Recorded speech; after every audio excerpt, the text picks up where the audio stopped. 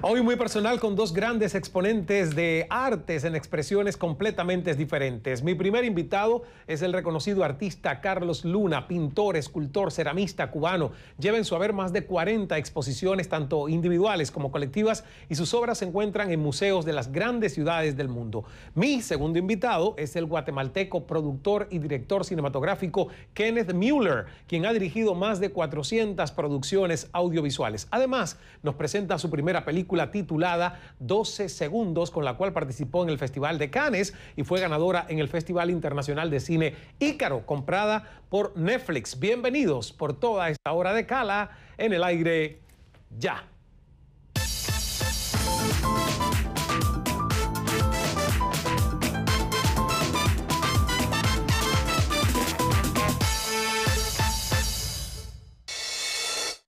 Saludos desde Miami, soy Ismael Cala, bienvenidos, una hora llena de arte por los próximos 60 minutos. Ya nuestro primer invitado está en la mesa, Carlos Luna. Carlos, bienvenido. ¿Cómo estás, Ismael? Gracias. Eh, tú eres reincidente porque esta es la segunda visita en el programa, así que me place darte la bienvenida de vuelta. Muchas gracias por invitarme. Vamos a hablar de arte, vamos a hablar de una nueva exhibición que tiene en uno de los museos de arte de la ciudad de Miami, Carlos Luna, también del éxito de Kenneth Mueller en la cinematografía con 12 segundos. No he visto la película, pero el trailer se ve maravilloso. Y justo de eso queremos reflexionar. ¿Qué es el arte? La mayoría de las personas en algún momento nos preguntamos, ¿qué cosa es el arte? Pienso que el arte obviamente depende de la subjetividad que le embarga y depende de quien lo admira. Pero en general el arte es una creación humana que logra elevar la imaginación y el espíritu del que la expresa y también del que la admira. La forma de exponerlo varía en cada artista. Algunos plasman con sus pinceles sus vivencias, mientras otros usan diferentes texturas, materiales, formas para comunicar sus sentimientos. El arte hoy tiene un espacio mucho más amplio porque nunca antes hubo tantas posibilidades tecnológicas para los artistas y tantas formas de expresar su sentir a plenitud. Yo le pregunto, ¿cuál es la expresión de arte con la que más se identifica? ¿Tiene usted una parte artística que no ha liberado? ¿Qué piensa de la influencia de la tecnología en el arte. Alguien que tiene quizás muchas de estas respuestas es nuestro primer invitado de hoy, el reconocido pintor y escultor ceramista cubano Carlos Luna. Las influencias que resaltan en sus trabajos provienen del mundo afrocubano, popular y del arte mexicano y su extensa obra ha sido reconocida por museos e instituciones tanto en Estados Unidos como en América Latina. Carlos, bienvenido a Cala. ¿Alguna vez encontraste la definición de qué es el arte? Eh, había creo que un soncito cubano que decía que el arte es lo más sublime para el alma divertida. Es cierto, me acuerdo de esa canción, linda canción. Y yo me conformo con ella, realmente. No, eh, es un espacio un poco subjetivo para determinar muchas cosas, pero creo que al final es algo hecho para el espíritu. ¿Tú llevas cuántos años ya desde que descubriste que las artes iban a ser realmente más que un hobby, una manera de vivir? Mira, yo creo que el arte me descubrió a mí. Yo no tuve planes de ser artista ni tenía idea del tema. Curiosamente tuve habilidades para expresarme a través de los medios de las artes plásticas. Y una amiga de mi abuela fue la que estimuló eso. yo, tú sabes, el sistema educativo de Cuba en los años 60, 70, yo estuve en las escuelas de deporte y después en las escuelas de vocacionales y también en la escuela de arte. La escuela de arte fue lo que se quedó ahí como un reto y de pronto me descubrí creando cosas. No, no fue algo programado, fue algo que ya estaba ahí. Quizás esa habilidad era más constante que las otras. No sé, es, es un verdadero misterio, pero que agradezco, ¿no? Bueno, pero lo cierto es que tienes algo único porque tú has mezclado todas esas influencias que yo mencionaba al inicio y que tienen mucho que ver lo afrocubano en tu obra, también parte de lo de México, porque estuviste en México y bueno, llevas años viviendo en, Estados Unidos, en Miami. Tienes una nueva exhibición que yo quiero que eh, nos hables sobre Green Machine, The Art of Carlos Luna, que se muestra en el Frost Art Museum de Miami, que está en la Universidad Internacional de la Florida, aquí en Miami. Esta exhibición, ¿qué hay de particular en esta nueva muestra? Bueno, yo habitualmente no exhibo en Miami. Exhibo muy poco en Miami. Este es un proyecto que hace cuatro años la directiva del museo, en función en ese momento, me invitó a exhibir en el museo. habitualmente me tomo muchos espacios entre una exhibición y la otra. Me tomo mucho tiempo en pensar en sobre qué voy a reinventarme yo como creador. Y el curador en turno para esta exhibición fue alguien que surgió un poco en el, en el proceso, un gran amigo también de origen cubano, una gente brillante a quien respeto mucho, y empezamos a, a, trabajar en todas las cosas, en todos los procesos que he estado reinventándome yo, de cómo usar de pronto la misma, todo lo que tenemos en la tecnología, aplicarlo eh, eh, traerlo al presente, aplicarlo en las artes. Uno de ellos son los procesos que se hace con Magnolia Edition en California, con la que se hacen los tapestry o las láminas de acero que estoy interviniendo, o el mismo trabajo, la cerámica de Talavera. Hay, hay muchas cosas que no violentado el proceso, sino que me he enriquecido en la medida en que he entendido el proceso. Hay algunas imágenes aquí, por ejemplo, en tu página de Facebook, sé que hay otras, pero estas son las que yo encontré, donde eh, te vemos con partes de las obras, imagino, de esta exhibición. Eh, cuéntame un poco la variedad, porque hay colores, hay texturas, hay materiales diferentes. Sí, ah, curiosamente hay un, hay un momento en mi carrera en la que yo estuve usando materiales que provenían de las artes populares de México, como es el papel amate. Y ese periodo se agota y me pongo yo a reinventar cosas con otros papeles. Y mucha de la obra que estás viendo en la segunda sala del museo, yo decido reinventarme sobre procesos técnicos que no había estado usando y que había usado justamente en mis inicios cuando era estudiante en Cuba. Eh, reducimos las salas, habitualmente es fácil encontrar mi trabajo con mucho colorido. Y cuando entras al museo te encuentras dos salas enteras, una que es muy monocromática y la otra es blanco y negro. Y Como esta obra que estoy viendo en este momento. Exacto. Al final, en la tercera sala te encuentras todo lo que innové con Magnolia, donde hay piezas monocromáticas, pero hay piezas de un gran colorido, todas hechas a través del hilo, no son piezas donde se está copiando con la tecnología una obra ya creada, sino que la obra ha sido creada para ese proceso técnico. Ah. Eso es lo que hace rico el, resultado y valioso el resultado.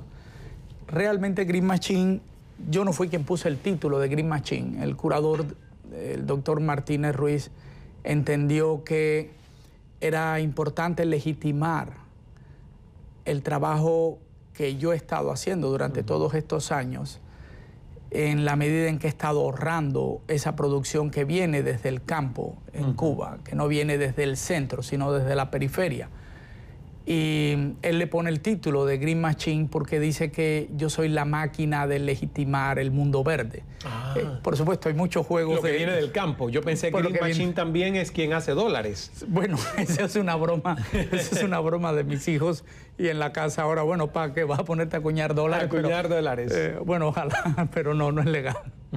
Ah, la cosa es que él fue quien creó toda la idea y desarrolló todo el el, concepto para justificar el proyecto a nivel teórico. ¿no? Todas estas obras responden, digamos, eh, hay una etapa fundamental en la que tú narras con estas obras lo último de Carlos Luna en cuanto a su evolución como pintor, o aquí hay una mezcla de varios de tus periodos. Mm, el inicio de la exhibición, en la primera sala hay tres piezas importantes. La más antigua creo que es desde 1900, digo desde el 2001, 2002, que es una, esas tres piezas son un poco el antecedente original de todo lo que vas a ver de mi trabajo posterior. Realmente la exhibición se concentra en una selección de obras de los últimos 3, 4 años. Ah, o sea que es bien reciente. Es muy reciente. Y estas piezas son anteriores porque justamente entendimos que era la fuente primigenia de, lo que, de, todo lo que he ido desarrollando. ¿Cuáles son esas piezas? Eh, una es el Gran Mambo, el otra es un, óleo que se llama Dale, Dale, Huye, y otra tela anterior de gran formato también que se llama Empingated. Empingated la tengo aquí eh, justamente, mírenla ahí ustedes en pantalla. Y es un eh, Spanglish. Es un Spanglish. Es, es, un Spanglish, tiene que ver con el falo. Y, bueno, es una expresión que en Cuba se usa en español y que tú la llevaste a un spanglish. A un spanglish. Ok, ¿qué quiere decir eso? la realidad, en esencia, yo soy un, generalmente necesito contar una historia sí. a la hora de, crear todo el, fenómeno de lo que voy a hacer. Y en esencia, está la muerte y un, y un guajiro, uno frente al otro, cada uno se está presentando, cada uno está armado, por supuesto. Uno está diciendo yo soy la vida, la muerte está diciendo yo soy la muerte. Sin embargo, es un replanteamiento mío personal, que mientras que no me toque que la muerte me lleve, voy a vivir una vida en Pingated. O sea que voy a vivir a, plenitud, a, plenitud. Todo. ¿Qué llega primero, aprovechando esta obra en Pingated, qué llega primero, Carlos? Eh, ¿El concepto de la obra y luego el, título o el título y luego desarrollas obra? Eh, mira, yo, yo tengo un attachment importante al suplemento verbal. Eh, el oír una frase que me provoca una imagen automáticamente me da pie para hacer la imagen o para crear el objeto o para crear lo que vaya a hacer. Generalmente parte de ahí, del, suplemento verbal, una canción, una frase, un comentario, una expresión popular o eh, no tiene que venir de una expresión culta, puede venir de la cosa más trivial, pero me genera a mí una imagen y yo de ahí me voy a agarrar. Porque siempre he creído que la cultura popular es la columna vertebral de cualquier expresión culta. Entonces, muchas veces esa, esa idea o esa frase o esa, o esa situación me provoca un concepto que voy a desarrollar después. Pero yo anotando eso ya tengo por dónde comenzar a desarrollar. Son muy pocas las piezas que he comenzado sin tener un título o, rompiendo este proceso. El Gran Mambo es uno de ellos. El Gran Mambo quizás es una de las obras más emblemáticas de mi carrera al día de hoy y no tenía título y la obra seguía creciendo de tamaño y no tenía título. Y mm, sucedieron varias cosas alrededor del, en el periodo en el que estoy haciendo la obra, en el que me percato de, estaba oyendo a Tres Patines y oigo una cosa de Tres Patines, una frase que me dio pie para, para armar cosas dentro de la pieza. El Gran Mambo es una gran descarga mía personal. Y ahí tengo yo el Gran Mambo, pero con ustedes dos delante. El Gran Mambo no es otra cosa que un análisis de mi vida, mi partida de Cuba y mi llegada, mi paso por México y mi llegada a los Estados Unidos. El centro, la estructura del Gran Mambo es un gran ojo en el que yo estoy mirando hacia adentro, haciendo un trabajo introspectivo de, mí, de mi persona, de, de, analizar quién soy yo como individuo. Lo curioso es que con el Gran Mambo se continuaba sin título, hasta que oigo un programa hablando de un, estudioso norteamericano sobre el tema del mambo, el origen de la palabra, eh, Cachao López y todos estos Pérez Prados y demás. Y me pongo a escarbar el origen de la palabra, eh, en el momento en el que surge el mambo, y digo, caramba, este es, esta es mi gran descarga, se va a llamar el mambo pero cuando lo veo en mi estudio de vuelta y veo que además no cabía en el estudio porque nunca lo pude ver armado completo en mi estudio porque no cabía, dije, no, no puede ser el mambo, tiene que ser el gran mambo. El gran mambo. Sí. ¿Dónde está esa obra? Es, de un coleccionista particular. Él fue quien la comisionó. Ah, ah o sea que la hiciste comisionada es una comisión, sí. Ese es otro mito de pronto de que las obras que son comisionadas, que el artista tiene que crear libremente y no debes, no, no debe haber presión a través de una comisión. La Capilla Sistina es quizás una de las obras más importantes de la creación humana. Fue una comisión del Papa eh, y así cuantas otras. Yo me puse el reto de que, de que tenía que hacer esa obra de gran formato. Él la pidió de X tamaño y al final fue el doble de tamaño. Y dije, tenemos un problema, tú comisionaste este tamaño y se creció al doble. Y me dijo, bueno, pues que Dios te acompañe y vete a pintarla, no resuélvelo. Pero gran obra, vamos a hacer una pausa. Estamos conversando con Carlos Luna. Su obra ha adornado salones y muros en diferentes museos del mundo, desde el Museo de Arte de Fort Lauderdale, el Museo de The Katzen Art Center Museum, la Embajada de los Estados Unidos en Santiago de Chile, el Museo de Arte de Boca Ratón, galerías en Washington, en Houston, México, Cuba, Miami, Francia, España. Y entre los galardones que ha recibido están el Gran Premio de la Fundación Paul Klausner de Nueva York y el de Artista en Residencia de Fort Lauderdale. Vamos a una pequeña pausa. Al volver, seguimos hablando de las raíces cubanas y la influencia que tienen en la pasión de Carlos por el arte.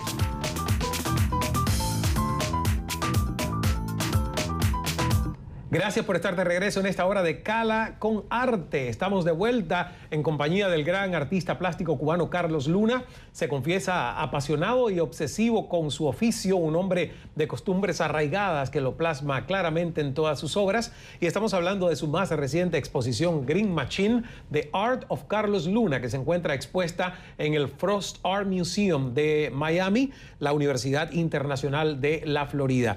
Y bueno, aquí justamente yo estoy viendo parte de una esquina de una de, las exhibiciones. Eh, ¿De qué se trata esto? Porque me parece súper interesante que hay una obra, pero detrás en la pared has hecho otra obra de arte sobre la pared. Es un trabajo titánico el tema de, intervenir todo el muro. Esa pieza se llama Robo Ilusión, que tiene que ver con las cinco décadas del desastre cubano. Eh, para mí es muy importante la memoria histórica, para mí es muy importante que no se olvide lo que ha, sucedido. Ahora, respeto otras opiniones, pero para mí, para mí es importante no olvidar, para mí es importante tener presente lo que ha pasado y se traiga... Por ejemplo, esta, esta que tengo yo acá ampliándose un poquito. ¿Cuál es la historia aquí? Ese es Mr. Sio John. Si lo lees en español vas a encontrarte ah, ya. otra... No. lo puedo decir porque Chuchi le acaba de dar un ataque. Pero el que está leyendo sabe que dice C.O.Jones. uh, Pueden leerlo en su casa. Es una, es una, mi versión del Perseo de Benvenuto Cellini. Tenía esa idea hacía años eh, de hacer una pieza que se llamaba El Héroe, donde un guajiro decapitaba al individuo del 59. Oh. Y no, no fluía el título, solamente le ponía El Héroe. Y entonces un amigo que llegó a los Estados Unidos en el 60 y algo, me cuenta que cuando él jugaba béisbol aquí en la pequeña Habana, todos los niños hablaban inglés y el grupito de cubanos eh, decidieron para burlarse ponerle a su equipo, a sus camisetas, Mr. CEO John. O sea, ellos ganaban porque ellos eran Mr. CEO John. Mm. Por supuesto, los, profesores pensaban que Mr. CEO John era el sponsor que le compraba las camisetas, pero realmente ellos ganaban por sus pantalones. Y el título se me hizo genial y lo guardé.